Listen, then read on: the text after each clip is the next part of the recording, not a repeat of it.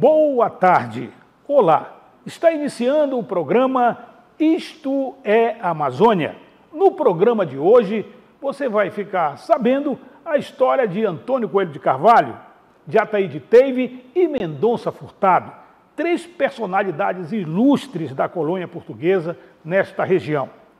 Fomos até a Universidade Federal do Amapá falar com o professor Paulinho Cambraia, ele que é professor de graduação e pós-graduação em História, falou sobre a dificuldade dos conteúdos programáticos sobre História do Amapá, a formação dos professores do ensino médio, tudo isso você vai ficar sabendo dentro do Isto é Amazônia. E olha, você sabe quem foi o primeiro amapaense ilustre?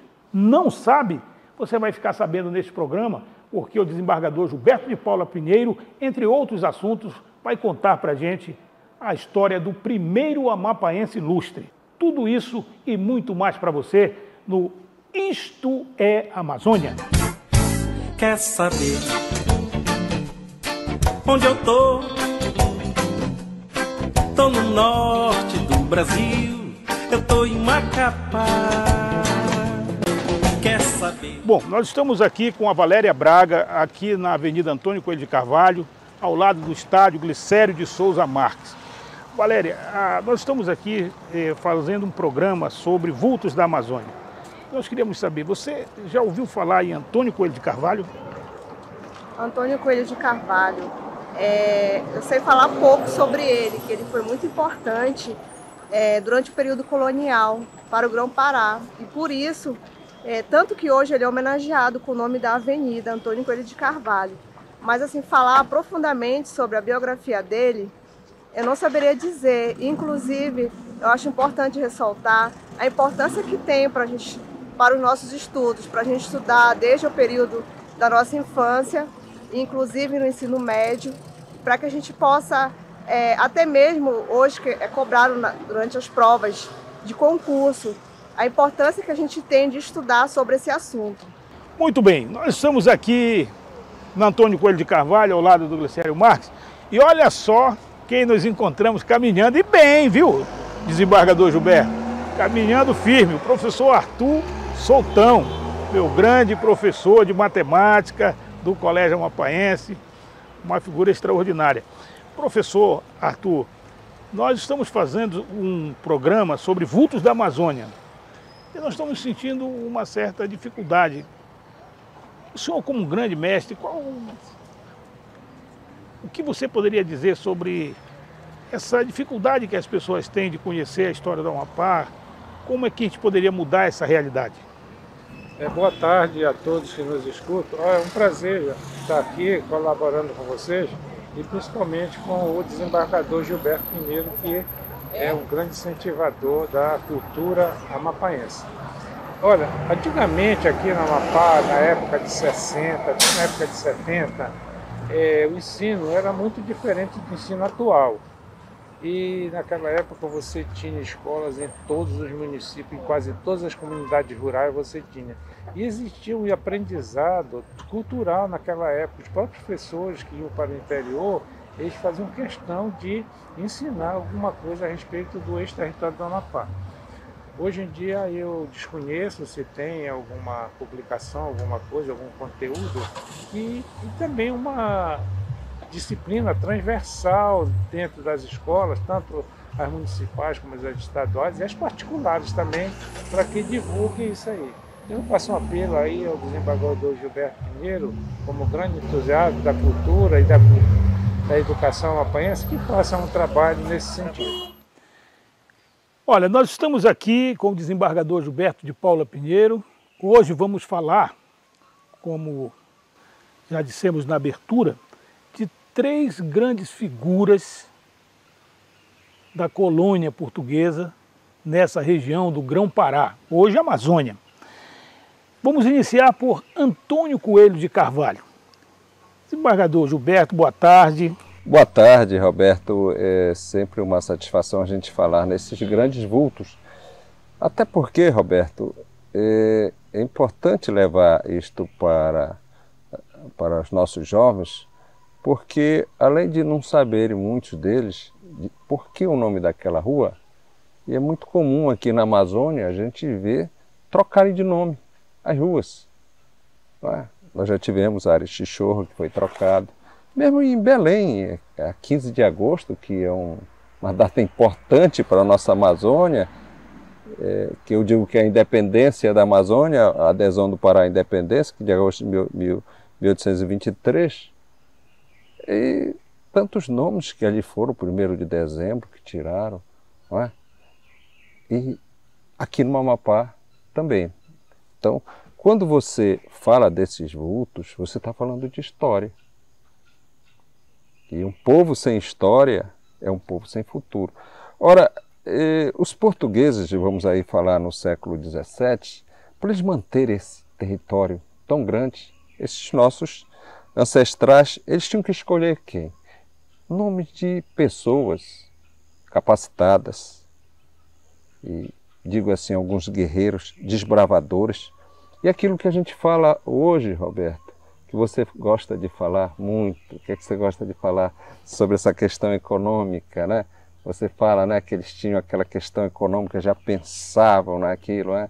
na questão econômica, o que, que o, o, o país tem feito, mas eles já usavam isso, os portugueses já usavam essa questão estratégica. O que, que eles vão fazer? E para isto, eles escolhiam a dedo. E tinha que ser em sintonia com as políticas que venham de Lisboa. Como é que você mantém um território tão grande? E a família dos Albuquerque, Albuquerque, né? que eram os, os ancestrais de Antônio Coelho de Carvalho, Albuquerque e Coelho de Carvalho é uma família assim de grandes nomes, porque grandes trabalhos tinham feito pela coroa portuguesa. E é, Antônio Albuquerque é, Coelho de Carvalho, ele nasce em 55, 1655, morreu em 1725, teve trabalhos muito bons para nós, digo assim. Nossa, nós pertencíamos à província do Maranhão e do Grão-Pará. Ele vem para cá e essa questão da diplomacia com os franceses, tentando chegar a um acordo. E se não fosse ele, também nós não estaríamos aqui presentes. Veja, termina, os franceses são vencidos, naquela questão da França Antártica, né? Para onde eles vêm?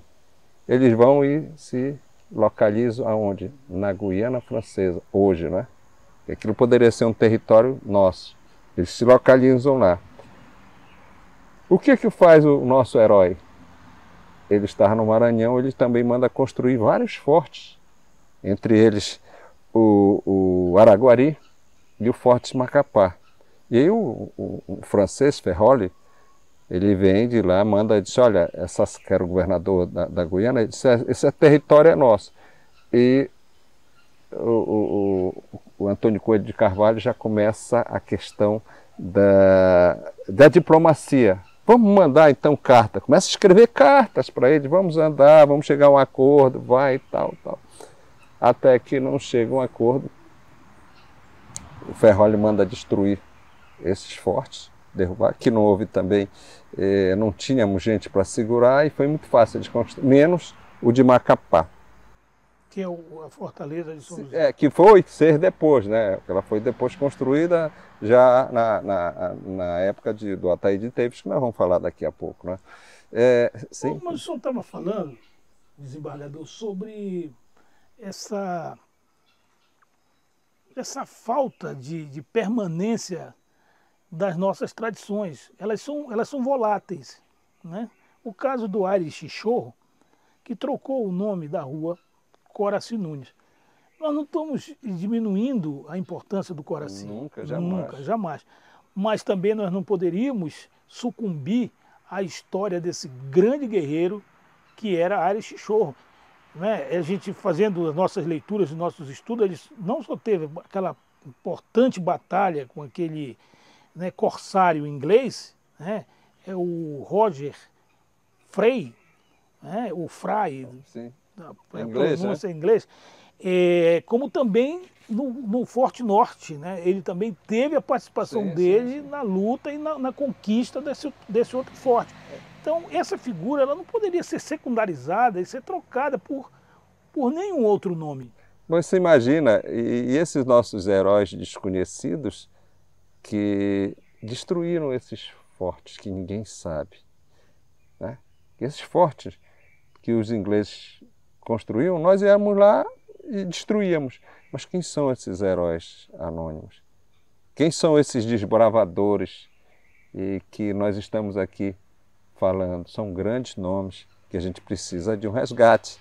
Porque a nossa história é bonita, a história da Amazônia é muito bonita e a gente vai falar muito ainda para você explicando o orgulho que nós temos do papel de nossos ancestrais. Não pode, amanhã você imagine trocar o nome da, da, da, do colégio ou do colégio Barão do Rio Branco, né? da é, Praça Barão Praça, do Rio Branco. Cabral. E assim, não é sucessivamente. Né? Então essa é a importância. E em relação ao Antônio Coelho de Carvalho, ele adoeceu, teve um problema sério de saúde, volta para Portugal, mas ele já tem nome, né, pelo trabalho. Ele, ele tem uma tem assim uma aproximação com o rei de Portugal. Ele vem vem para para o Pará. Ele é, ele é nomeado capitão mor no estado do Pará. E um outro trabalho, aí ele volta a escrever as cartas, essa questão diplomática com, com Ferroli, tentando já apaziguar, a chegar um acordo, acordo sem, aqui. Isso, olha, olha, olha, sem a beligerância. Sem, a beligerância, né? Mas o importante papel dele nesta diplomacia e, e nesta presença, ele chegou quando quando anteriormente, quando o Ferrolho começou a construir, ele pegou um engenheiro e veio para cá e disse, não, vamos olhar, vamos olhar isso aqui para a gente manter o território.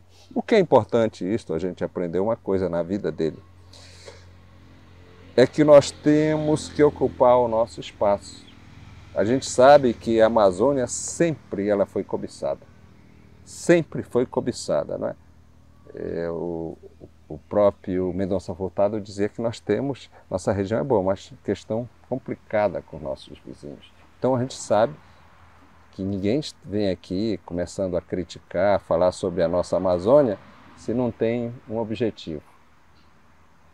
E nós precisamos trabalhar nisso. E primeiro, nós precisamos, que eu sempre digo, amar a nossa Amazônia, amar a nossa região e ocupar nossos espaços. Pois é, e a gente vai fazer um breve intervalo, mas no retorno, o desembargador Gilberto Pinheiro vai discorrer sobre uma figura muito importante também, que é o Mendonça Furtado. Vamos falar sobre ele já já após o intervalo.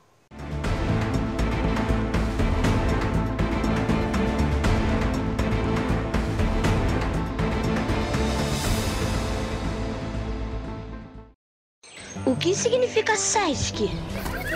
Vamos tentar adivinhar? Vamos! Será que é sinta-se em sua casa? Acho que é. Sim, eu sou campeã. Pode ser sua emoção só cresce. Super estimula sua criatividade. Ou sempre em seu caminho. E assim então, sorrir e saber curtir ser eternamente seu colega. e se for ser eternamente super criança? Acho que um desses aí a gente acertou, hein? Com certeza. SESC um mundo de possibilidades. É muito mais do que você imagina. A gente acontece com educação, saúde, cultura, lazer, assistência. A vida acontece com o SESC.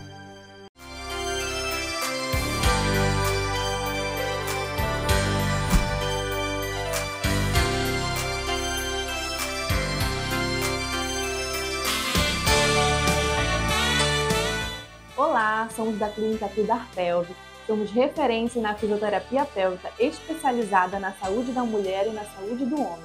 Oferecemos recursos tecnológicos inovadores no pré e pós-operatório de cirurgias pélvicas e abdominais, acupuntura, terapia manual, acompanhamento gestacional ao pós-parto, atendimento clínico, entre outros.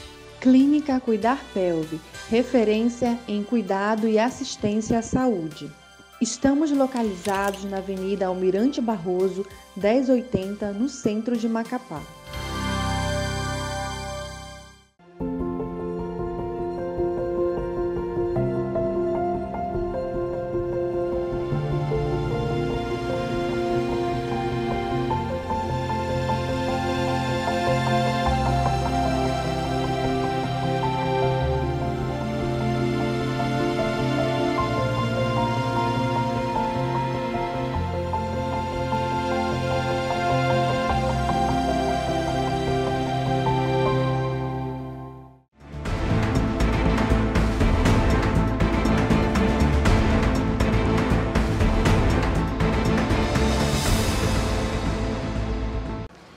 Muito bem, nós estamos aqui com Edilson Gonçalves, um amapaense, uma figura é, importante da sociedade aqui do Amapá.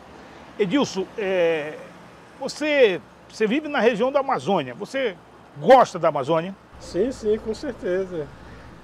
E aí você poderia nos dizer, por exemplo, quem foi Mendonça Furtado? Nós estamos na Avenida Mendonça, Furtado. Você sabe dizer quem foi ele? Não estou lembrado, né? Mas eu, eu, eu conheço. Eu conheço, foi da época do meu pai.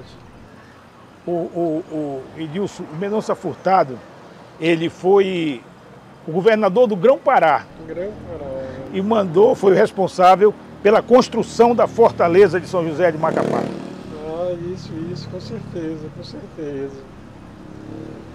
Você já tinha ouvido falar sobre isso? Não, não, não, não. Ouvi muito falar sobre a fortaleza, né? Mas não sabia que era ele. Tá certo, obrigado. Valeu. Nós estamos aqui com Cláudio Moraes e ele estava falando para o Edilson que ele ia dar uma aula de história. Que maravilha, né? Então nós vamos começar, Cláudio, falando sobre a Amazônia, sobre vultos, pessoas importantes da nossa região. Você sabe quem foi Mendonça Furtado? Mendonça Furtado foi, foi capitão coronel do Exército. Ele ficou responsável da administração de construções portuguesa nessa região nossa aqui. E ele foi, se eu não me engano, ele foi governador do estado do Pará. Olha, encontramos um cara que conhece da história da região amazônica. E aí, você, que, que você acha desse desconhecimento total das pessoas com relação à nossa história? É porque eu acho que o estudo de hoje ele é diferente do de antigamente nosso, né? Que a gente ia para aula tomar a benção da mamãe, voltava a tomar a benção, não era assim? E a gente aprendia mais na escola, porque as professoras eram mais rígidas. Eu aprendi isso na escola, lá em Belém, na Duque, no Colégio 3 de Maio. Quando eu estudei lá na quinta série, eu sabia que era Mendonça Furtado, entendeu? Hoje em dia não, a galera é mais negócio de internet e tal, aquele básico. Eu acho que é isso, falta de conhecimento, falta de estudo, falta de interesse, entendeu? Hoje a nossa, a nossa, a nossa a nossa instituição social ela é diferenciada da antigamente. A nossa geração está se acabando, tu sabe disso, entendeu? A gente vai entrar para a história como os cinquentão que sabia mais do que os novinhos da internet de hoje. Nós estamos aqui com o Rô Miguel e ele vai participar da nossa enquete aqui na Mendonça Furtado. Miguel, você sabe quem foi Mendonça Furtado? Não. Não tem a menor ideia? Não, não conheço, mas estou curioso de saber. Olha, vou dar uma dica para você. Ele tem muito a ver com a fortaleza de São José de Macapá. Foi um dos fundadores? Não foi fundador, mas foi responsável pela edificação da fortaleza. É, agora tá bom saber. Nós estamos conversando aqui com a Clice. Clice, você já ouviu falar no Mendonça Furtado? Sim. Quem foi Mendonça Furtado? governador do Grão-Pará que mandou construir a fortaleza. Tá vendo? Nem tudo está perdido, né? Nem tudo está perdido. Encontramos uma jovem que conhece a história. Isto é a Amazônia. Quer saber onde eu tô? Tô no norte do Brasil, eu tô em Macapá. Quer saber onde eu tô? Tô no norte do Brasil. Muito bem, estamos de volta aqui nesse bate-papo com o desembargador Gilberto. Um bate-papo bastante informativo sobre a Amazônia, um profundo conhecedor dessa região e um entusiasta deste assunto que é fundamental para o esclarecimento da nossa sociedade sobre a nossa história. Nós temos que nos apropriar disso e ter esse sentimento de pertencimento. Nós vamos falar de Mendonça Furtado, essa figura ilustre que tem uma participação também muito grande na nossa região, como governador do Grão-Pará, né, pelas ações que realizou na hoje Amapá, né, Macapá. E na Amazônia. E na Amazônia como um todo, desembargador. Dom Francisco Xavier de Mendonça Furtado. Ele era irmão do Marquês de Pombal. E quando você fala hoje de geopolítica, os nossos ancestrais eles estavam bem adiantados. Veja, Roberto, é, a gente fala parece que é algo novo, mas não é não. É, ele era irmão, para mim, de um dos maiores estadistas que Portugal já teve, que foi o Marquês de Pombal. O Marquês de Pombal ele tinha uma visão, ele assume, é? nós estamos falando aí em século XVIII, 1751, e quando ele assume, Dom José, rei de Portugal, ele assume como primeiro-ministro, ele era um, ele chama, a gente estuda eles como aqueles déspotas, né? Esclarecido. Esclarecido. Ele, ele tinha uma visão grande de um grande economista. O, o Brasil, época do, do, dos minérios, época do, do, de exportação de ouro, de tantos minerais, né? aquelas questões. E, e, principalmente ali em, na, em Minas Gerais, a questão, ele observou que aquilo poderia, não, não, era, não era só aquilo que se poderia desenvolver.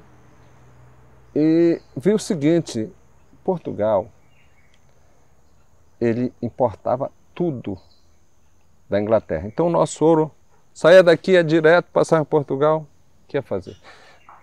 Ia para a Inglaterra. Ele diminui em 50% logo assim a importação. E, o que é que ele faz? No sul do Brasil, ele cria as empresas manufaturadas.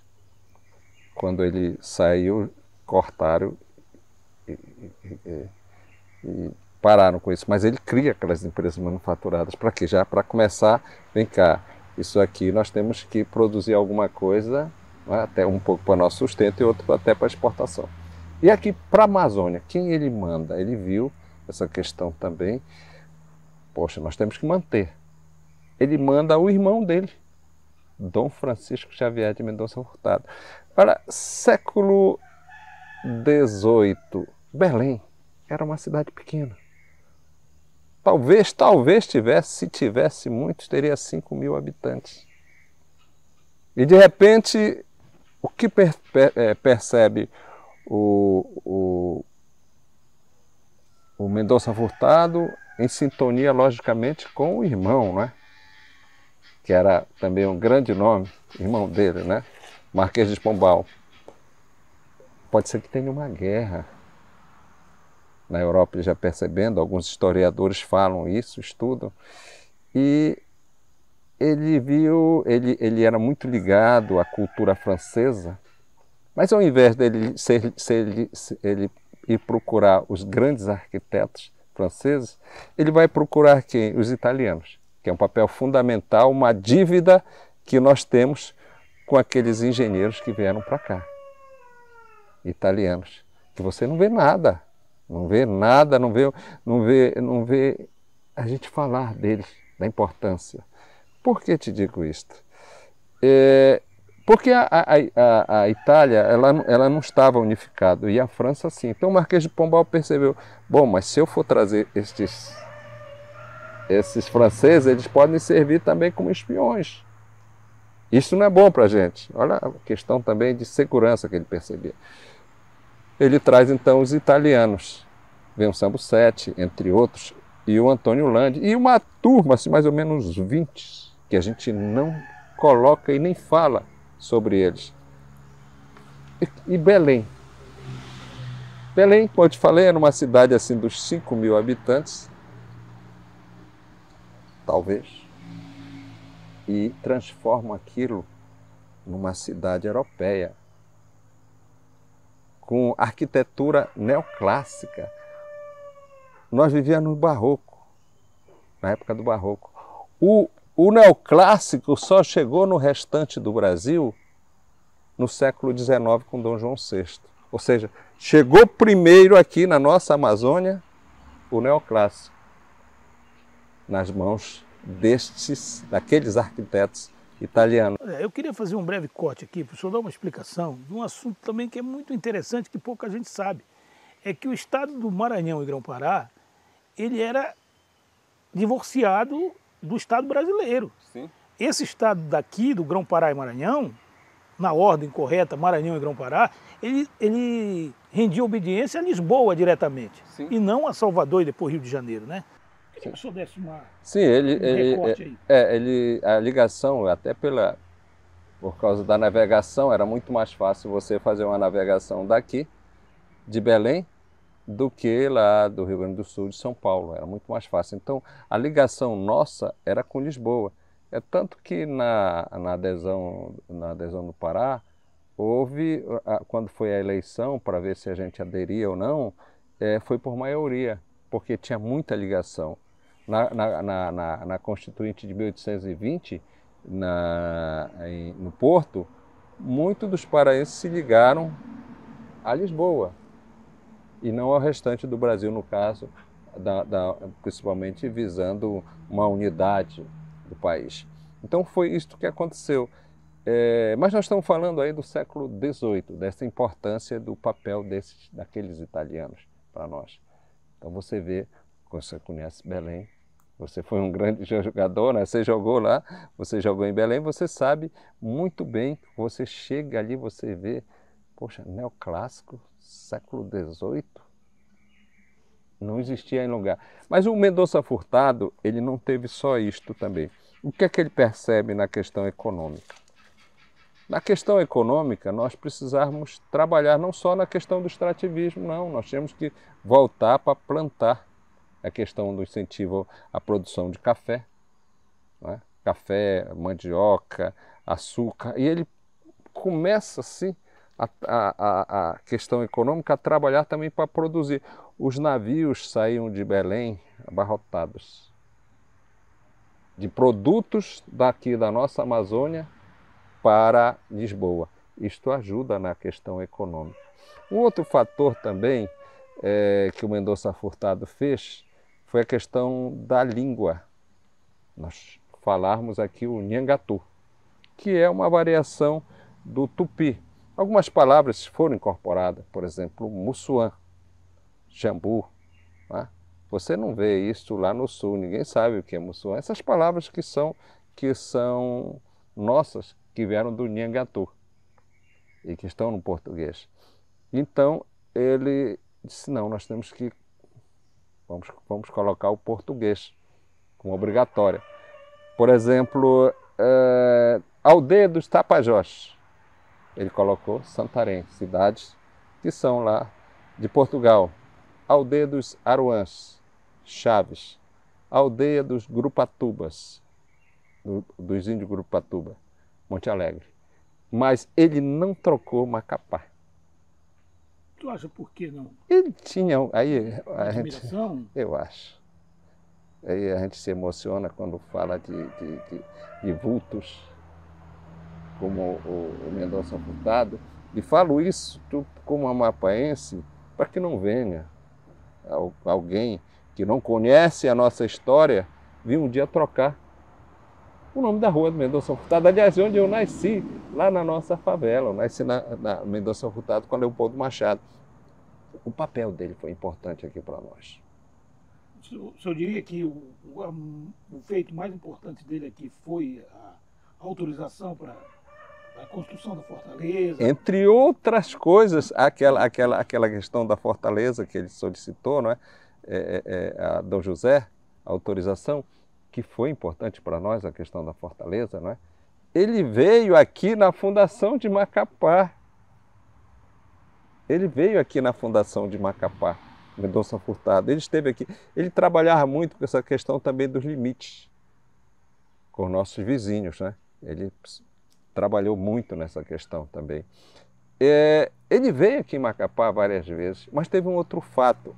Na Fortaleza, nós já falamos em outro programa, você pode ver a importância dele ter vindo aqui, do papel dos italianos que eles trouxeram, para cá é? e, vieram, mas teve um fato aqui. O senhor citou. Sampo Sete foi outro italiano, né? Henrique Galúcio. Henrique Galúcio também foi, foi outro italiano. Eles prepararam a nossa cidade, por exemplo, ela, Macapá, ela, ela, ela foi planejada. Estou falando um plano do século XVIII, na igreja, toda aquela a, a praça, né, o pelourinho, tudo aquilo arrumado. Aquilo não foi assim à toa, foi planejada. Mas ele teve um fato importante aqui, de uma sensibilidade, eu digo, dele muito grande, porque se não fosse ele, também nós não estaríamos aqui conversando. Aconteceu um surto de cólera. E ele soube em Belém. Ora, ele era o grande governador o, o, a, a, da província do Maranhão em Grão-Pará, quando ele transfere, o Marquês de Pombal transferiu a sede né, para Belém, ele estava em Belém. Ele poderia, ó, eu soube lá, eu vou ver aí, chamo, manda remédios para lá. Não, ele pegou o único médico que tinha em Belém, um único, e que ninguém sabe nem o nome desse médico e não tem aqui, nós temos que ter um memorial para esse médico desconhecido, que é nossa história. Ele reuniu tudo que tinha de remédio e veio para cá. Você imagina numa canoa vela? Naquela época que não tinha banheiro, que não tinha nada. Você imagina como eles vieram enfrentando, não é? Aí uma parte do oceano, uma parte o Amazonas. E para cá vieram tratar. Mas não foi só isso.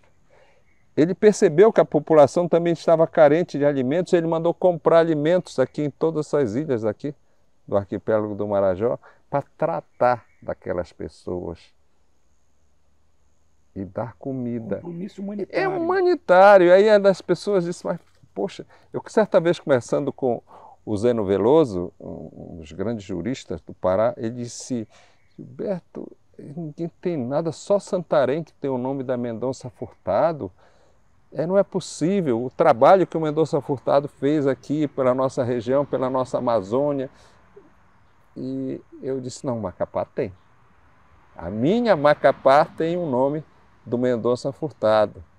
E a gente espera, Roberto, eu, você, que nós somos amapaenses, que não venha ninguém a, mudar, né? a querer mudar pelo desconhecimento. Então, esta é uma obrigação nossa, Roberto, que somos amapaenses, a falar um pouco desses heróis, daquelas pessoas que fizeram por nós, porque esse, aqueles pioneiros, sem eles, sem audácia, sem um trabalho, sem a luta, nós não estaríamos aqui batendo esse papo. Então, Mendonça Furtado é um nome que a gente tem que manter e lembrar sempre. Então, desembargador, vamos dar sequência para falar numa outra figura, uma outra figura ilustre, que é o Ataíde Teve, né? também homenageado aqui com o nome de rua. E eu queria que o senhor falasse um pouquinho dessa personalidade. Fernando Ataíde Teves, também, né? Governador do, do Grão-Pará. Aliás, eu acho bonito esse nome Grão, não sei porque o Pará tirou esse nome tão bonito, Grão-Pará, não é? ele, para mim, ele foi muito importante na construção da fortaleza de São José de Macapá. Né? Foi ele que veio aqui em 1764, com quem? Com mais, outro ilustre que foi Henrique Galúcio. Então a presença dele aqui, né, no início, nesta construção, né, o Henrique Galúcio morreu em 1769, e, mas continua, a Fortaleza continua. Foi importante isso. Mas tem uma outra também uma outra outra passagem também relevante relevante na vida do Ataíde Teves. A questão do, do, do de, de, Mazagão, os, os portugueses estavam estavam foram, foram expulsos, né, lá do Marrocos e foi determinado que eles viessem para onde? Para cá, para a Amazônia. E foi ele que recebeu aquelas famílias portuguesas em Belém e algumas vieram para fundar a nossa nossa querida, né? Mazagão. É, Mazagão, Mazagão Velho. Então, é uma passagem importante também, que a gente espera que não apareça ninguém querendo trocar o nome né, de Ataíde Teves no futuro, né? Por quê? Porque esses heróis, esses desbravadores, eles fazem parte da nossa história. Da história do Amapá e da história da Amazônia. Nós vamos para o intervalo comercial, mas aguardamos você, hein? Não sai daí.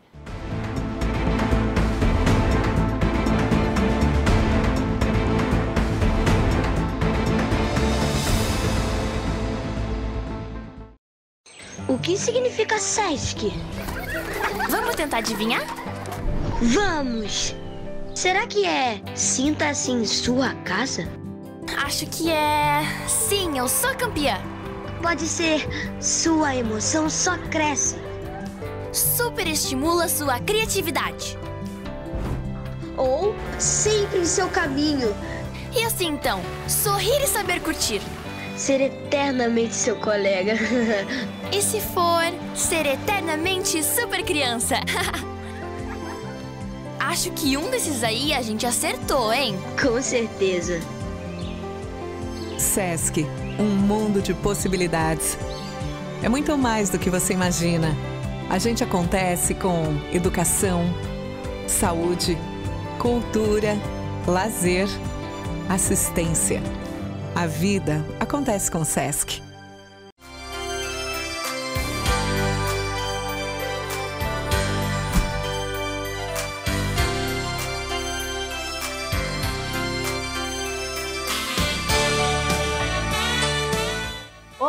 Somos da Clínica Cuidar Pelve.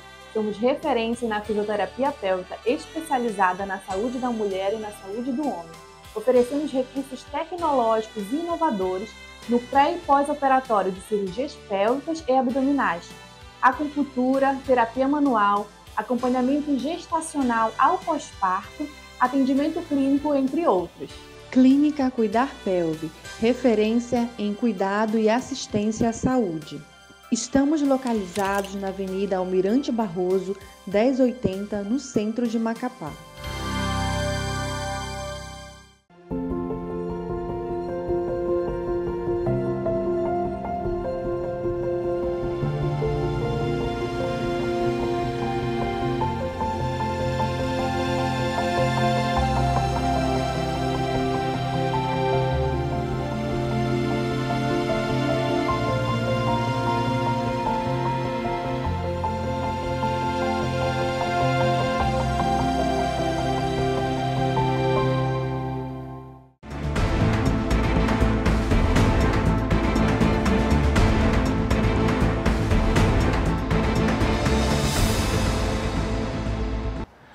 Programa Isto é Amazônia veio até a Universidade Federal do Amapá conversar com o professor Paulo Cambraia.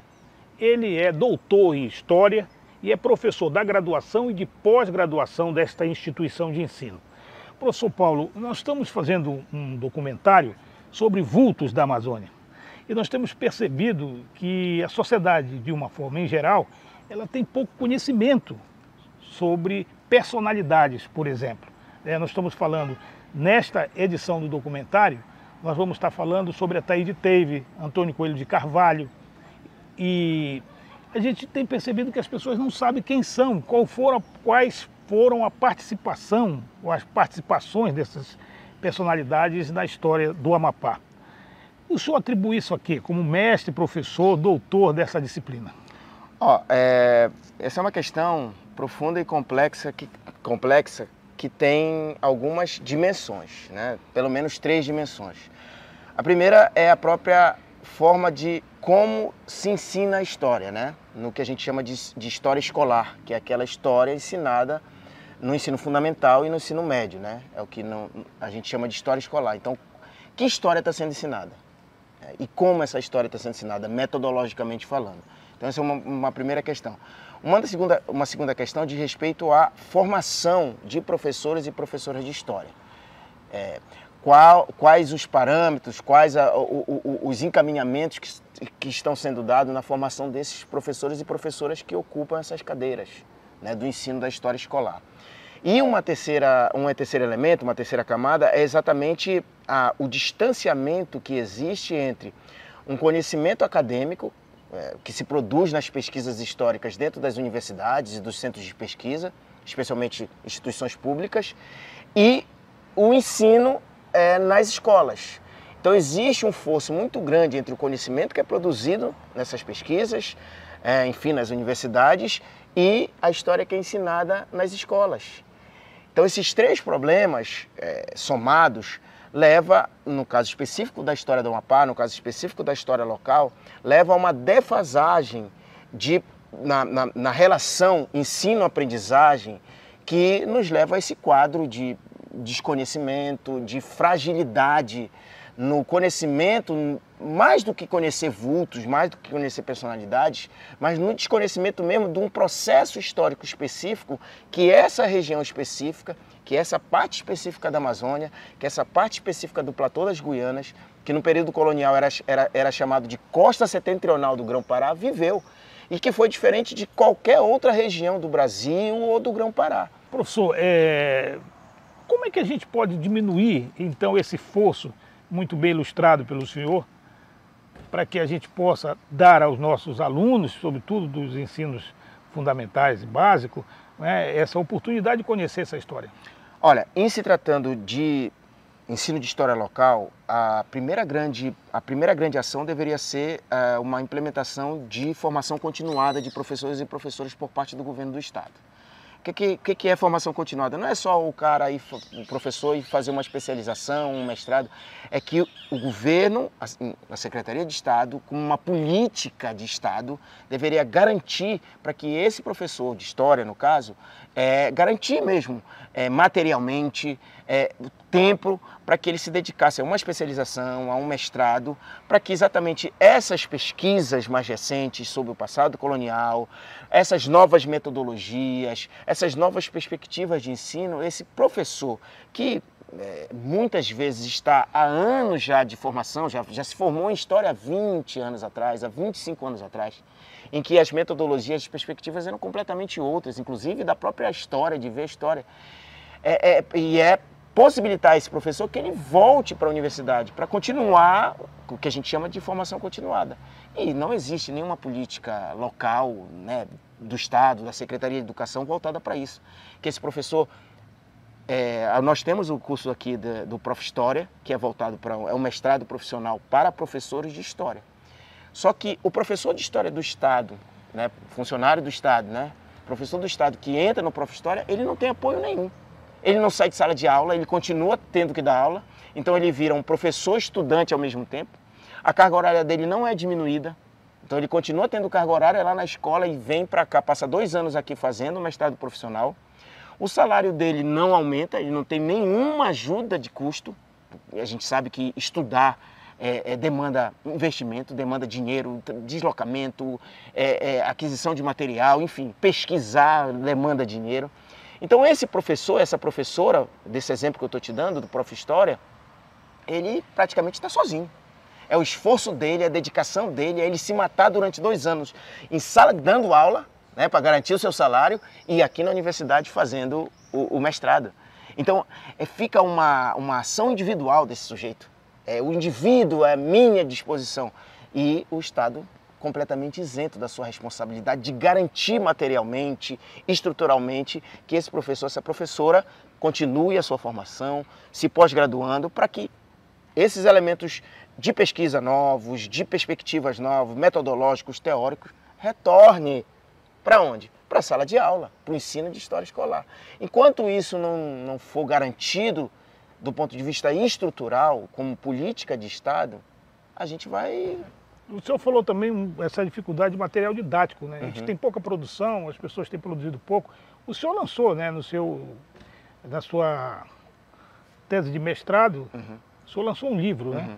É, que aborda esse aspecto. É, a minha é, a tese trata do período colonial, exatamente desse que você está tratando o programa, do período colonial, da, da, formação do que hoje a gente chama estado do Amapá, que no período colonial chamava é, essa região aqui, chamava Costa Setentrional do Grão-Pará, quer dizer, era uma parte integrante do grandíssimo estado do Grão-Pará e Maranhão, no século XVIII. É, e um outro problema da questão é, do ensino da história local, da história do Amapá, é exatamente é, a, a, a, pouquíssima, é, a pouquíssima existência de material didático, o que a gente chama de material paradidático, que seria exatamente um, um material que, é, que faz essa transposição dessa, dessa, desses textos acadêmicos, dessas pesquisas em nível de mestrado, em nível de doutorado, para, evidentemente, para a realidade do ensino da história escolar. Então a gente existe, é, exige, é, existe muito pouco material didático e paradidático do ensino da história local, muito pouco. Aí você pode perguntar assim, mas uai, por que que, né, por que, que o, o pesquisador, a pesquisadora que fez a sua tese não faz isso? Porque não é uma tarefa tão simples assim. Isso demanda tempo, demanda investimento, investimento para é, transformar esse material, esses textos em materiais paradidáticos, investimento para publicar isso ou transformar em material digital, né, CD-ROMs, enfim, e, evidentemente, é, esse dinheiro é, com a pesquisa, com financiamento cada vez mais parco no Brasil e no estado do Amapá, evidentemente isso é uma tarefa hoje praticamente inalcançável, né? sendo que os investimentos cada vez mais diminuem e essas pesquisas cada vez vão, vão ficando especificamente dentro dos muros da universidade, o que é muito ruim, porque não cumpre o seu papel social. A universidade ela tem o papel de sair, né, romper os muros, ir para a sociedade, interagir ali. Mas sem investimento não é Fica mais difícil.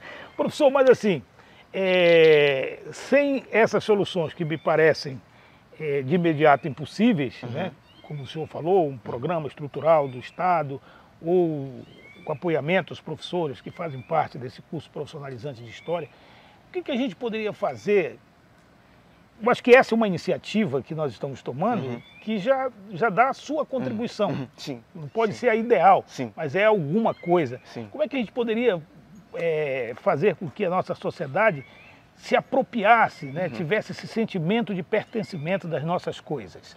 Olha, é, você falou um ponto muito importante. Primeiro é criar, criar primeiro é criar uma cultura mesmo é, da importância da história, né? De, de, de, estudar o passado, de entender o passado, relacionar esse passado com o presente, que, por exemplo, de maneira geral no Brasil nós não temos essa cultura. É, você tem, vou pegar um exemplo para a gente, você ir na França, a história na França, ela é, é tem programas de TV. Tem programas de TV que passam momentos da história da França, discussões, deba debates sobre pesquisas históricas na França passam em horário nobre da televisão com pesquisadores, pesquisadoras debatendo. É uma popularização. É uma, exato. Então tem uma cultura do estudo da história, do ensino, do debate, entendeu? Que no Brasil não existe. Então o programa que está sendo proposto por vocês, realizado por vocês, é uma iniciativa, mas é uma iniciativa. Quais outros canais de TV investem nisso, nessa, na, na, na divulgação de, dessas pesquisas, na divulgação das culturas, do passado, das regiões, enfim, no caso aqui do estado do Amapá? Então até, esse seria uma... Aí a gente fala até da questão da, da audiência, né? Quando você vê um, um programa, nada contra. Uhum. Né? O programa policial, daquele programa né, do, do, prendeu e faz aquele Perfeito. alarido todo, né? aquele algazarra toda. Perfeito. Tem muito mais audiência que um programa Perfeito. que se propõe a discutir conteúdo, conhecimento. É, e, e aí um, um, um, segundo elemento também seria uh, uma maior valorização da cultura popular, né? ou da memória popular. Porque em alguma medida, Roberto, é, essa história, vou chamar de história oficial, é uma história que ela é construída de cima para baixo. Inegavelmente ela é construída a partir sempre do Estado.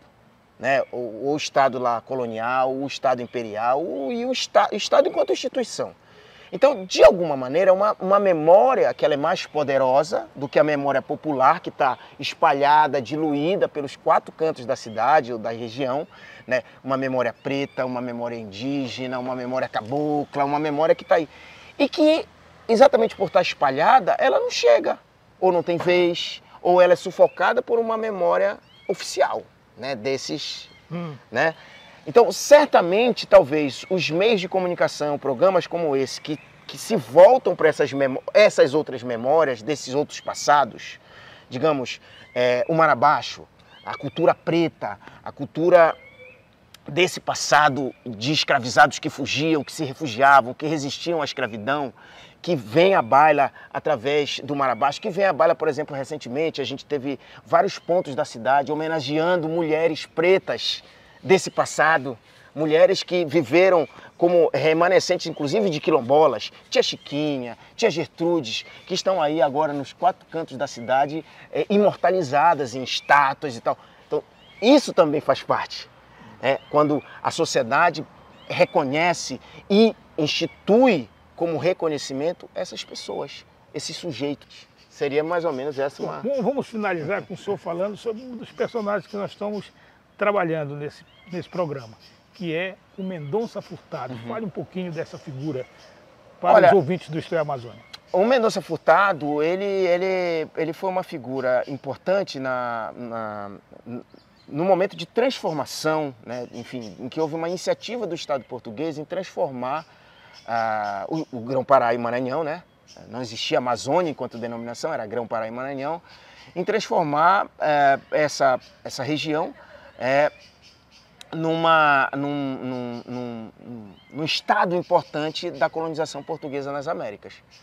É, as poucas pessoas da sociedade sabem que, na verdade, existiram duas grandes colônias no Brasil colonial. O estado do Brasil e o estado do Grão-Pará e Maranhão, que eram completamente distintas uma das outras. O estado do Grão-Pará, por exemplo, tinha muito mais relação política e administrativa com Lisboa do que com Salvador e depois Rio de Janeiro. Né? Então, a maioria das pessoas disso é, sequer disso. sabem disso. Né? Tem aquela ideia generalizante de o Brasil colônia. E aí o Mendonça Furtado foi uma dessas figuras nesse processo mesmo de, de dentro da política do Marquês de Pombal, é, coincidentemente, né? claro que não é coincidência, eram irmãos, né? É, dentro da política do Marquês de Pombal, de é, garantir efetivamente a colonização é, dessa, dessa região e utilizar especialmente a presença indígena para garantir isso. Né? Enfim. E aí o, o, o Mendonça Furtado foi esse sujeito que levou a cabo essas transformações, essas mudanças urbanísticas né, pra, na Amazônia, urbanísticas, política, administrativa, é, é, sociais mesmo, porque a partir desse momento é, da, da, entrada do Mendonça Furtado, as ordens religiosas foram expulsas da Amazônia e aí a, essa, essa, essa, esse processo da utilização de trabalhadores e trabalhadoras indígenas passou a estar diretamente na, nas mãos do Estado, né, e aí saiu das mãos do, é, dessas ordens né? religiosas, exatamente. Então o Mendonça Furtado foi, e, e, e, foi esse sujeito que deu início a todo esse processo, né? que, que consolidou definitivamente o Grão-Pará como uma região de extrema importância para Portugal é, na colonização das Américas. Tanto que né, as principais fortalezas, entre elas a construída aqui, é, construídas no século XVIII por Portugal foram exatamente nessas áreas fronteiriças aqui do Grão-Pará. Né? Dada essa importância é, em relação aos outros estados europeus que tinham possessões vizinhas e garantir esses territórios. Tinha interesse. Né? Então, o Mendonça Furtado foi esse sujeito que, é, que levou e, e, e, um sujeito que viajou e conheceu toda a Amazônia. Né? Então, não foi só, digamos, aquele governador de gabinete que não, ele viajou a Amazônia inteira, né? Ele foi um, um, dos responsáveis pela, pelo processo de demarcação a partir de 1750. Então ele viajou, saiu de Belém e foi até o extremo é, do Grão-Pará, é, lá já no, com os Mainas, né? Na, na, fronteira com que hoje é o Peru, que no século XVIII era os Mainas, né? Que tinham herdado todo o Império Inca, né? No, no, caso dos espanhóis. Então, o Mendonça Furtado foi esse sujeito que conheceu deveras a região, e, e, conseguiu também, de alguma forma, não só implementar a política que vinha de cima, mas também, de alguma forma, claro, dentro do contexto daquele século XVIII, mas dialogar com essas realidades um pouco ao visitar, ao conhecer dessas várias Amazônias do século XVIII. Então foi esse o Mendonça Furtado. Obrigadão. Obrigado. Uma aula extraordinária. Nós vamos para o intervalo comercial, mas aguardamos você, hein? Não sai daí você vai conhecer quem foi o primeiro amapaense ilustre.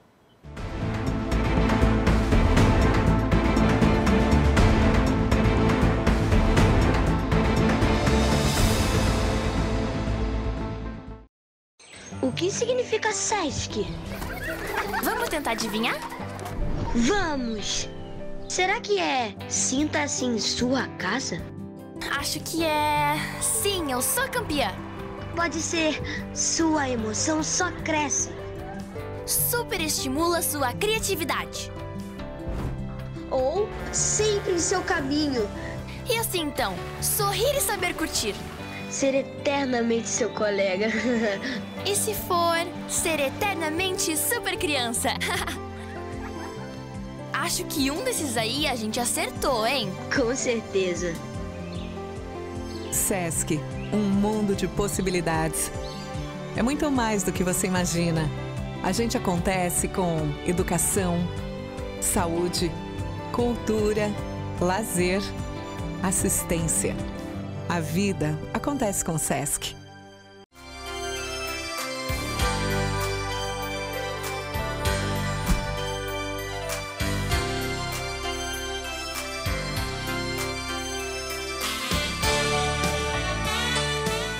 Olá, somos da Clínica Cuidar Pelve. Somos referência na fisioterapia pélvica especializada na saúde da mulher e na saúde do homem. Oferecemos recursos tecnológicos inovadores no pré e pós-operatório de cirurgias pélvicas e abdominais, acupuntura, terapia manual, acompanhamento gestacional ao pós-parto, atendimento clínico, entre outros. Clínica Cuidar Pelve, referência em cuidado e assistência à saúde. Estamos localizados na Avenida Almirante Barroso, 1080, no centro de Macapá.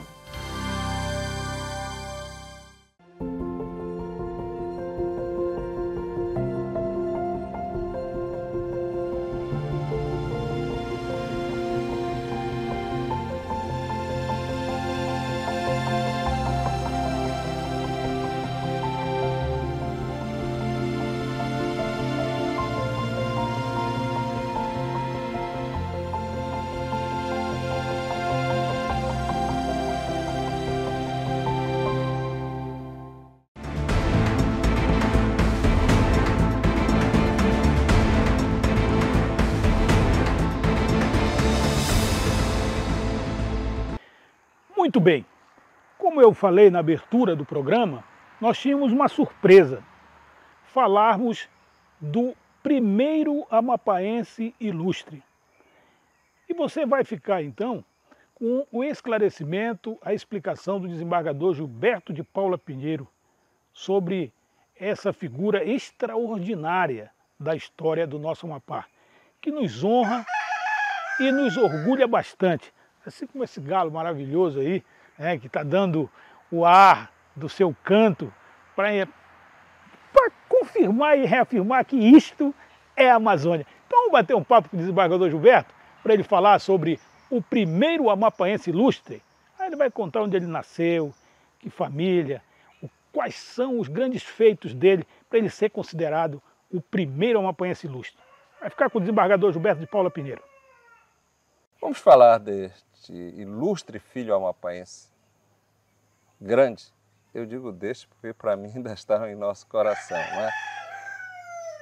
Fidalgo da Casa Real e Conselheiro de Estado, Mateus Valente do Couto. Os seus pais eram de Mazagão e houve um problema de cólera Mazagão. Então eles vieram para cá, para Macapá. Ele nasceu no dia 19 de novembro de 1770. Mas era aquela criança, eh, eu digo assim, ele deveria ser muito inteligente para onde ele chegou. Ele com 11 anos ele vai para Belém do Pará, vai trabalhar, e vai a trabalhar não, vai estudar com um tio. Tinha um tio, tio leva para Belém e lá ele se destaca. Um garoto muito inteligente, Começa a estudar línguas. Você imagina um garoto, naquela época, estudar línguas. O governador do Pará, ele manda selecionar dois jovens da Amazônia para ir estudar medicina em Coimbra. Era, era assim, você pegava os, os, os estudantes e mandava para Coimbra. Coimbra, aliás, a minha Coimbra, que eu estudei em Coimbra e, e vi como é a tradição Coimbra. Coimbra é tradição. E ele vai para lá estudar medicina. Mas, como eu digo assim, um gênio que era, ele começa a se destacar em matemática. O, o, o, o intendente da polícia, é, ele pega, olha aquele garoto, e disse, garoto, você tem que estudar matemática.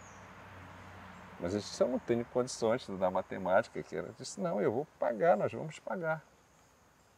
E aí são eles, aí é que ele se destaca mais, ele era muito estudioso, se forma em matemática, mas sem deixar a medicina, continua estudando. Ele tem umas férias, vai para Lisboa, e lá lhe é oferecido um cargo de oficial na Real Marinha. Lusitana. Portuguesa. É, é, sim. O primeiro brasileiro a ingressar na Real Academia. Ele, nascido em Macapá, nosso conterrâneo, Ele é o primeiro, mas lá ele se destaca. Aí ele vai sendo promovido, chegou até coronel. É, inclusive ele começa a, falar sobre. Ele já não estava muito afim de, de medicina, né? Aí não era muito a praia dele, ele larga. É, ele se destaca até em meteorologia, escreve sobre meteorologia, é, sobre navegação. Ele dá um show na Marinha. Engenharia naval, né? Ele, ele, ele, é, o, ele é o, como a gente chama hoje, linguagem assim, né? Acho que ele era o cara. Ele chega a ser o primeiro lente da academia, professor da academia. Você imagina você chegar a este nível na Real Academia Lusitana, chega ao cargo de coronel. Mas tem uma passagem que é, a história talvez não mostre. Naquela mesma época, veja, ele foi com 19 anos para lá. O, quem estava lá naquela época José Bonifácio, gente, o grande José Bonifácio. E se lembrando também que vem quando, quando aquela guerra napoleônica, uhum. o, o, Napoleão não é, tenta fazer um acordo com, com, com o Dom, Dom João VI e o João VI sempre enganando ele. Aliás, Napoleão diz que Dom João VI foi, foi o único, que enganou. E nós aqui achamos que ele era burro. Imagina se, se, se ele fosse inteligente, né, pelo que ele fez. Eles partem, a, a coroa parte para, para quem? Para, o Brasil, né? Mas tanto José Bonifácio quanto é, o nosso amapaense, o ilustre amapaense, eles estavam lá. Então, é difícil eles não terem se conhecido, não terem travado até é, conhecimento e, quiçá, até, porque o José Bonifácio, ele, ele, ele, ele foi um dos, trabalhou na resistência, até como ele criou lá um pilotão lá em Soldado, Coimbra. né? É. Então é muito difícil eles não terem se conhecido e travado, né? Diálogo até porque eram dois brasileiros. E é muito comum, difícil a gente, numa Coimbra, estou falando aí do século é, final do século XVIII, do século XIX, você não se encontrar. E a pergunta que se impõe, desembargador, é qual o monumento ou qual homenagem o Amapá faz a este grande Amapá? Eu acho que depois de eu ter batido tanto nisso, falando tanto, um, um vereador teve, e eu quero parabenizá-lo, um nome de rua, aqui, da rua, né? Mas nós não falamos. Algum busto no Mazagão, algum busto no Amapá, em Magapá? Não, absolutamente nada. Eu acredito que nem na Marinha, na nossa gloriosa Marinha de Guerra, tenha alguma homenagem a este brasileiro, a este amapaense. Este oficial da Marinha. Ah, da Marinha. Real Marinha é, Portuguesa. Portuguesa, né? Que nos antecede, né? Então nós éramos só um só país. Eu acredito que na Marinha tenha. Pode consultar aí, você que está nos vendo, se tem algum, é, algum navio, algum nome é, daquele grande amapaense, o mais ilustre amapaense né, que nós tivemos é, no século XVIII, século XIX, por que não dizer até, até os nossos dias, um grande amapaense, de uma inteligência, sabe? Devia ser um gênio também, né? para chegar eu, onde ele chegou. Eu assisti uma palestra de um almirante cinco estrelas no Sebrae Sim. e ele disse uma coisa muito interessante. As conquistas nas guerras brasileiras, a maioria delas, ou a grande maioria, a absoluta maioria, foram da Marinha. Sim, sim, sim. Né? A Marinha que, que unificou esse país. Unificou esse nós país. Nós vamos falar isso. E conseguiu conquistar as 200 milhas marítimas. É, nós vamos Amazônia falar Azul. isso da unificação do nosso país quando tratarmos aqui, inclusive, é, da unificação do 15 de agosto, que representou para a Amazônia, né? e da unificação do papel da Marinha, é, da gloriosa Marinha, na unificação deste país. E se não fosse a Marinha, certamente que isso aqui seria um outro país, nós estaremos ligados ao Brasil. E quando fôssemos visitar, por exemplo, se tivéssemos que ir para o Maranhão, tínhamos que ter passaporte lá para o sul também. Sabe lá como é que nós não seríamos tratados. Então, eu estou falando isso para você, jovem, estudante. Nós temos que ter um amor pela esta Amazônia, pertencimento. Esta é a palavra, Roberto. Pertencimento dos nossos heróis, daqueles vultos que hoje falamos. Mostrar isto também nas escolas e como turismo histórico, que é um potencial que gera emprego e qualidade de vida. Eu costumo frisar que cada turista leva, cria dois empregos. Então, é, eu fico aqui sendo privilegiado de ter a oportunidade de estabelecer a conversa, essa conversa, esse diálogo com o senhor, que é um profundo conhecedor, e a gente quer esticar o papo, porque tem tanta coisa e o tempo nos é limitado, porque é tão bom ouvir, é tão bom lhe escutar, não é? O senhor, um homem que tem é, não, na sua função é, é, é, judicante, o senhor tem tantas responsabilidades, mas o amor pela Amazônia que o senhor tem é tão grande que o senhor carrega consigo que ainda encontra tempo para conversar com a sociedade brasileira e mundial através desse programa que vai para o YouTube também, né, falando dessa região maravilhosa. Eu, eu, eu procurei simplificar a vida do nosso conterrâneo, como ele chegou, como ele chegou a primeiro tenente, a capitão, ele foi subindo e sempre com trabalho, né? Isso, isso que é importante para nós, orgulho de nosso conterrâneo, o primeiro ilustre amapaense, Mateus Valente do Couto. Nossas homenagens, né? Àquele grande brasileiro, aquele grande amazônico. Isto é a Amazônia. Obrigado, desembargador, por mais essa aula. E a gente vai encerrando por aqui esse documentário que falamos sobre Antônio Coelho de Carvalho, Ataíde Teve, Mendonça Furtado, Mateus Valente do Couto, né? esse grande amapaense, Mateus Valente do Couto. E a gente vai encerrando o documentário deste sábado. E a gente espera que esteja dando essa contribuição, que é a nossa pretensão, de contribuir para a disseminação da nossa história. Você se aproprie dela porque ela é sua. Tenha orgulho desses ancestrais que fizeram dessa região uma região brasileira com muita história para contar. E este programa tem este compromisso de contar essa história para você, da forma, como disse o desembargador, simplificada. Aí você pode aprofundar suas pesquisas com relação aos temas abordados nele. Um beijo no coração de vocês e até o próximo sábado. É.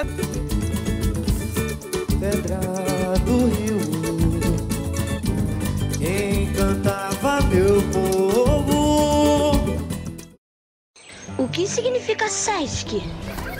Vamos tentar adivinhar? Vamos! Será que é sinta-se em sua casa?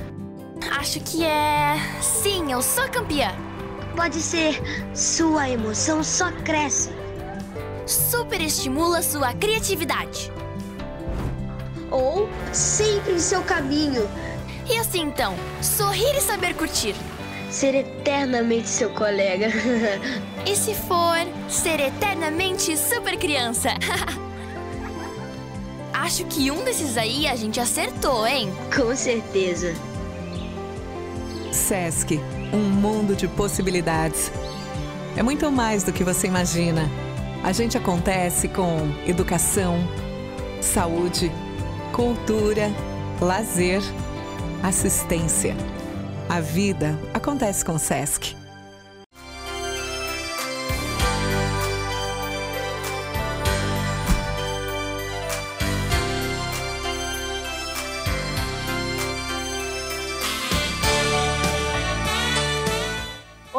somos da Clínica Cuidar Pelve. Somos referência na fisioterapia pélvica especializada na saúde da mulher e na saúde do homem. Oferecemos recursos tecnológicos inovadores no pré e pós-operatório de cirurgias pélvicas e abdominais, acupuntura, terapia manual, acompanhamento gestacional ao pós-parto, atendimento clínico, entre outros. Clínica Cuidar Pelve, referência em cuidado e assistência à saúde. Estamos localizados na Avenida Almirante Barroso, 1080, no centro de Macapá.